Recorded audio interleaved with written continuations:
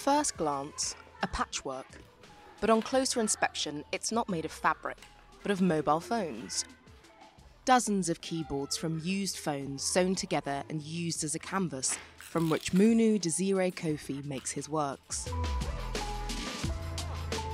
His unusual medium makes this young Ivorian artist stand out.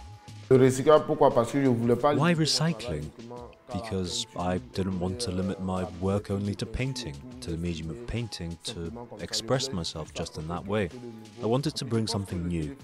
And I think the mobile phone is the tool that we're most attached to. Most of my work is about life, about people, so basically, how people are in society. Kofi started scouring the streets and rubbish dumps to collect old phones after graduating from the Abidjan Art School. These days, he has a whole team on the lookout for him. The more they bring in, the more they'll get paid. And in a country that hardly sorts its waste, Kofi hopes to change attitudes by raising awareness about recycling. I think that just the act of collecting old phones, of breathing new life into so called waste, people say to themselves, aha, in fact, these things that have been thrown away that don't work anymore can be made into something new. They can contribute something. The collected keyboards are passed on to these seamstresses to be assembled. Kofi is the artistic brains behind the operation, thinking up new designs. One of his latest series, Life Here, acts as a portrait of the daily lives of the people of Abidjan. Some of his pieces sell for up to $1,500. After exhibitions in Morocco, Belgium, and France, his latest show is right here at home. The 28 year old has caught the attention of the art world. Faire quelque chose d'utile euh, pour l'humanité, Doing something useful for humanity is always encouraging, and making it pretty and raising awareness is even better. utiliser surtout, ça c'est encore meilleur. Et en plus, les sup- The canvas is an innovative one since he works on canvases that are rubbish. In fact, he breathes new life into these canvases, and that brings even more to African contemporary art. Kofi's works will be on display until July. You could say he's got recycling down to a fine art.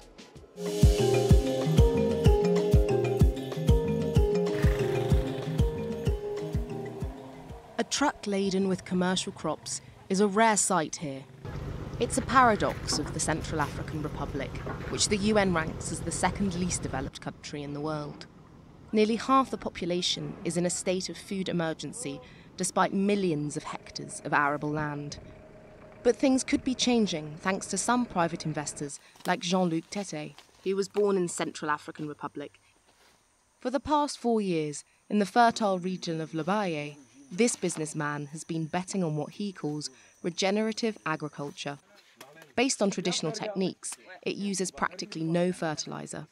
He sees great agribusiness potential in a country that has faced decades of armed conflict and poor governance. On a des terres disponibles, un climat exceptionnel.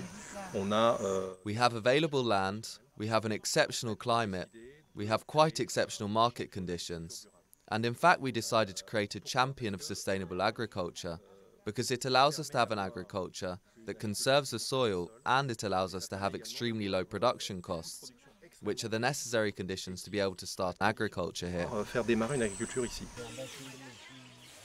Land use is negotiated with the village chiefs, and 20% of profits are fed back into the community, some of which went into building a school. But few investors have taken the plunge in this initiative. The Palme d'Or Company, which is a producer of palm oil, is still the only major investor. Nous assistons à cela depuis des années à travers les We've been witnessing this for years through food aid, which never develops the sector. On the contrary, it makes us lazier. It inculcates in our heads a mentality of the assisted, the people who always need to reach out for help. But when it's the private sector that takes charge, it's something else. It's a question of partnership between those who are going to invest and the producers, and everyone wins. investir avec les producteurs et tout le monde est gagnant. This investment drive is also focusing on the manufacturing of processed products, such as palm oil soaps, to better protect the industry and its workers from fluctuations in the price of raw materials. But the cultivation of palm oil in the region has faced criticism from environmentalists. who have warned that it is a threat to biodiversity and a driver of deforestation. In a country where two thirds of the food staple cassava is imported, developing this sector could help to stop people having to choose between eating and thriving.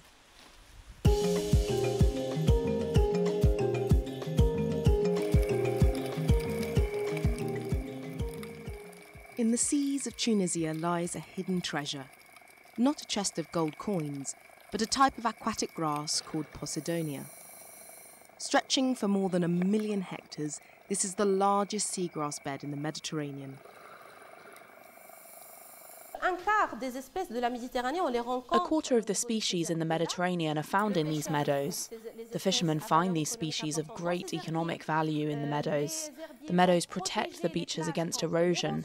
They also improve the quality of the water, making it very clear, and therefore attract more tourists. Essential for both fishing and tourism, seagrass helps to sustain Tunisia's two main employers. Once washed onto the beach, it's often seen as a waste and removed, along with a lot of sand attached. This accelerates the erosion of the coastline. Yet, according to experts, when the seagrass is left on the shore, it acts as a buffer against coastal degradation. The regression of the Tunisian coasts, which will directly affect the tourism sector, is linked to the existence and presence of these Posidonia banks, which protect our coasts. And if tomorrow we lose these banks, we risk serious economic problems, worse than those we are already seeing. With nearly half of Tunisian beaches under threat from rising sea levels, protecting Posidonia is more urgent than ever.